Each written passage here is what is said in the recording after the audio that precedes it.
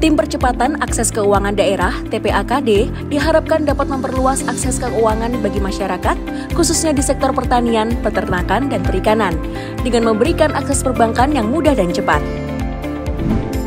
Hal tersebut dilakukan agar para petani, nelayan, dan peternak terhindar dari pinjaman online ilegal dan rentenir.